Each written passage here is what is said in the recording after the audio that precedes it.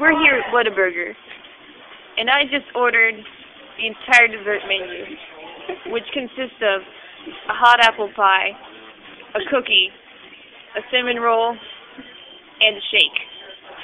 I have ordered one of each of these items.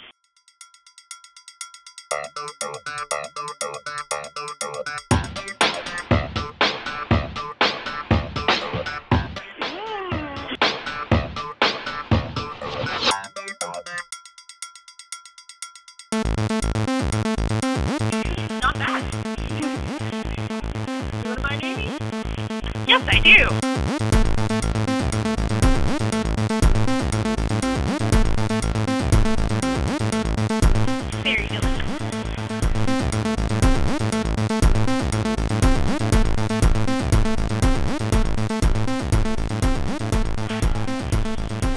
Filling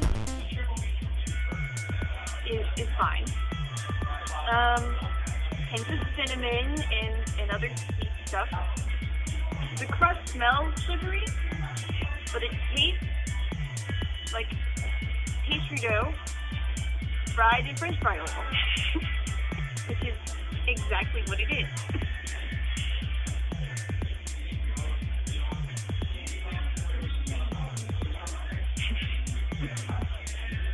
the crust ruins it. It looks a little bit overdone. It's brown all over. Um, it's a little bit grainy in texture when you actually eat it. I think they use dark chocolate.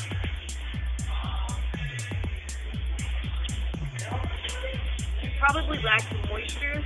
It's probably frozen for a very long time in dough form until they bake it.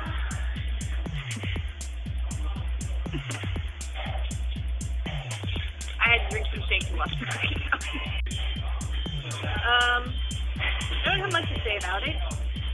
It was alright. It was it was warm. It wasn't too tough. It was it was a basic cinnamon roll. It wasn't gourmet or anything. It's alright.